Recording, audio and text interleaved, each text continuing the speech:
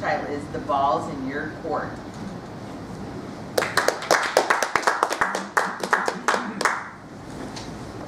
Let's play a game.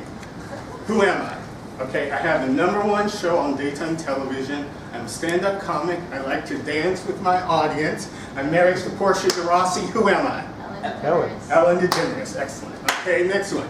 Who am I? I have an airport named after me. I have a library named after me. I'm known for saying, let's win one for the Gipper, and I used to be president. Reagan. Who am I? Reagan. Excellent. All right, next one. Who am I? I am, I have so many Grammys that I can't even count them. I'm pregnant with twins right now, and I'm married to Jay-Z. Who am I? Beyonce. Excellent. You have already begun the conversation of the topic, who am I? As we continue the conversation, I hope we can talk about one, who am I? Two, the tyranny of now, and three, the power of three. Who am I? The tyranny of now, and the power of three. When I was a kid in high school, we had these classes on self-esteem, or really they're classes on low self-esteem.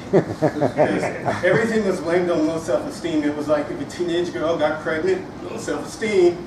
If a guy got locked up in jail, low self-esteem. Phone got cut off, rent was due, you got a boil on your butt, low self-esteem. The problem was, with these classes, they never taught us who the self was that we were supposed to have esteem for. It's like you can't have self-esteem if you don't have a self. And you can't have a self if you don't know who you are. And why is it important to know who you are? Well, the language psychologists use, they say a person who doesn't know who they are is a person who lacks a sense of identity and a person who lacks a sense of self. And psychologists also go on to say if you lack a personal identity and lack a sense of self, it affects your career, your relationship, your emotional, your mental, and your physical health. Funny story about that is that I have an Aunt Florida. Y'all all know my Aunt Florida, believe me. She's a big black lady that's in church every Sunday, and she will sing a song that will have everybody shouting and falling down and peeling the paint off the walls.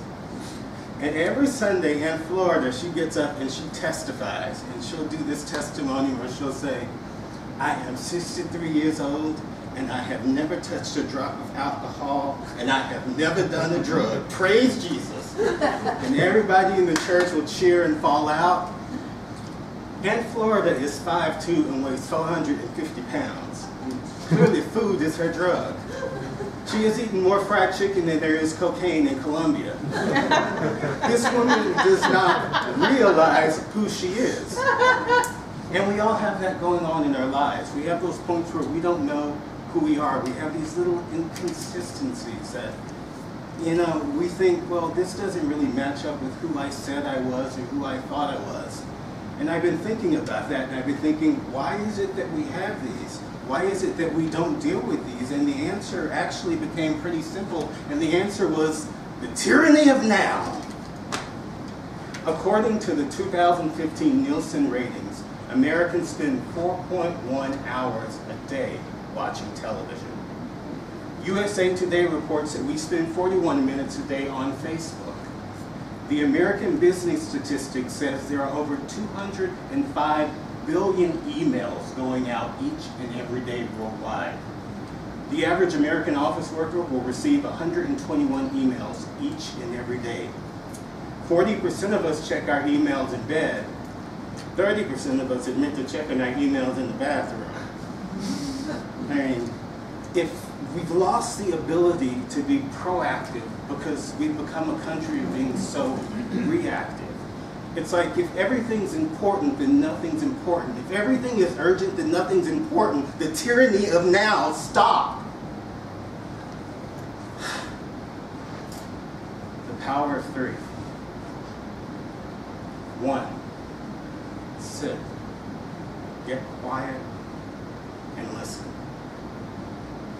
The signs and the signals are all around us.